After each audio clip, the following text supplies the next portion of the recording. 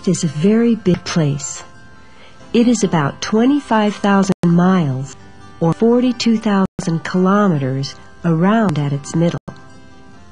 And most of it is covered by oceans of salt water. For thousands of years, the oceans kept almost everyone from reaching the faraway places on the other sides. But all that started to change about 600 years ago when the age of exploration began. The age of exploration was the time when explorers in newly invented sailing ships set out from Europe to find new trade routes to Asia. Wherever the explorers went, they made maps of the places they discovered and founded European settlements thousands of miles across the sea. The age of exploration lasted for about 300 years.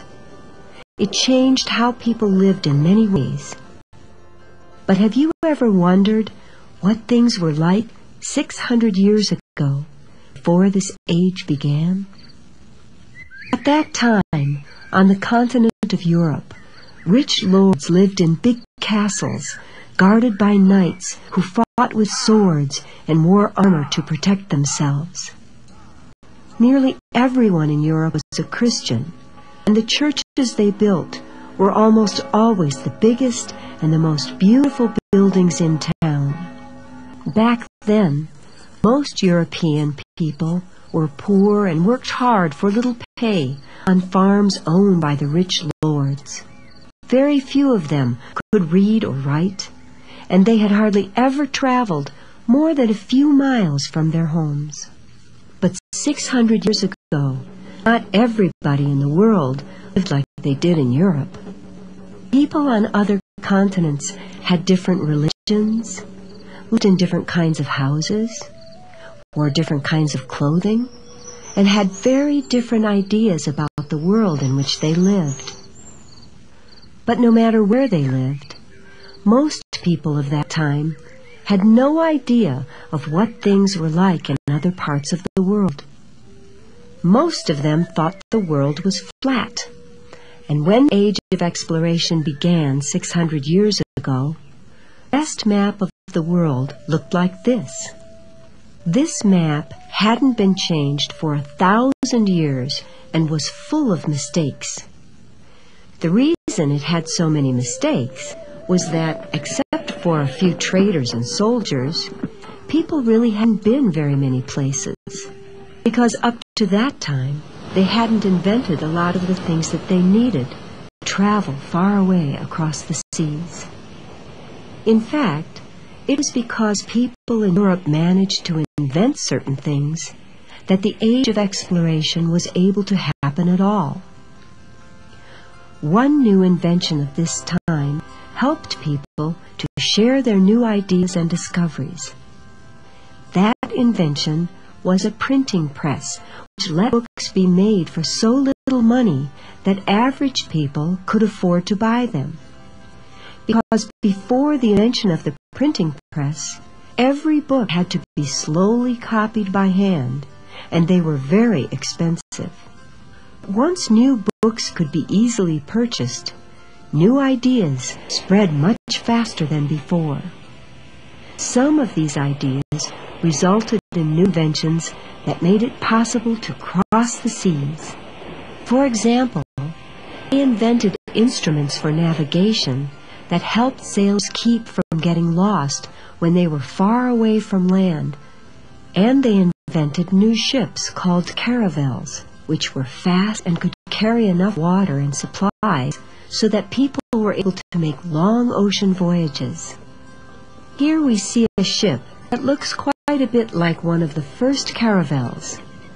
It is a copy of the Mayflower, the ship that brought the pilgrims to New England.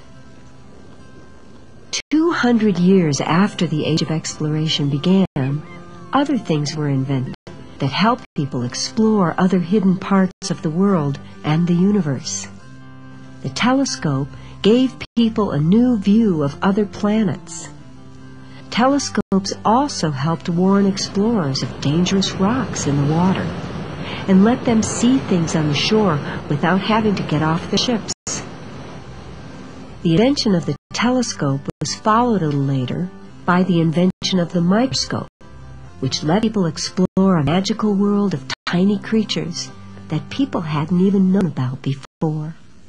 But even though they had a lot of new inventions, the age of exploration began, the Europeans weren't thinking much about discovering new lands. What they really wanted was to find new sea routes from Europe to the faraway parts of Asia, places such as India, China, and Japan. The reason they wanted to go to these places was that these countries produced things the Europeans wanted. Things like spices, such as cloves, nutmeg, pepper, and cinnamon, that were used to preserve meat in an age without refrigerators. The Asians also sold rich silk cloth from which fine clothing could be made, and jewels such as rubies and emeralds, as well as beautiful objects made from porcelain. The Europeans knew they could get rich by selling these things in their own countries. The problem was that they had no way of getting to Asia. This was because all the trade routes between Europe and the Far East passed through regions controlled by people of the Muslim religion.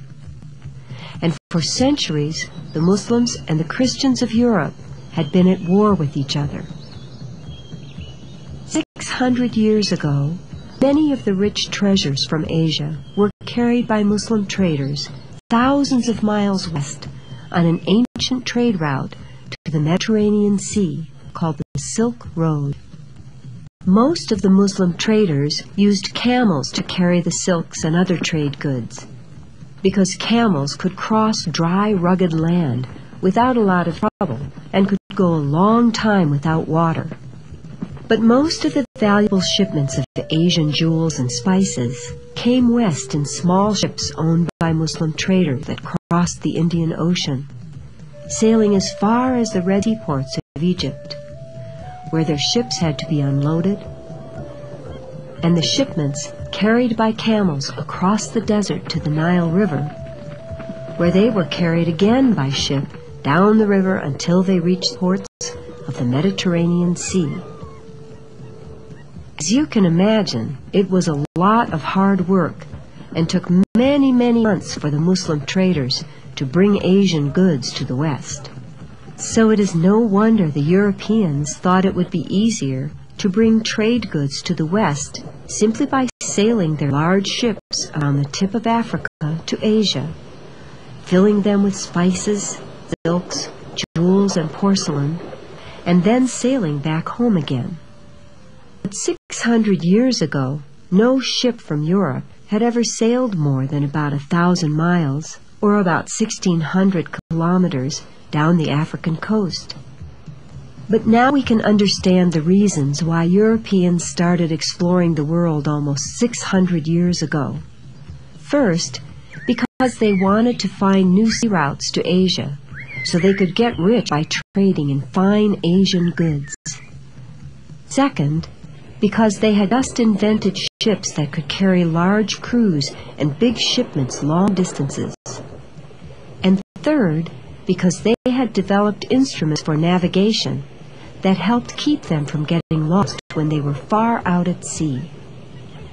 So it was these three things that blended together to help human beings explore the far reaches of the earth and to create what was beyond a doubt one of the most amazing times in history, the great age of exploration.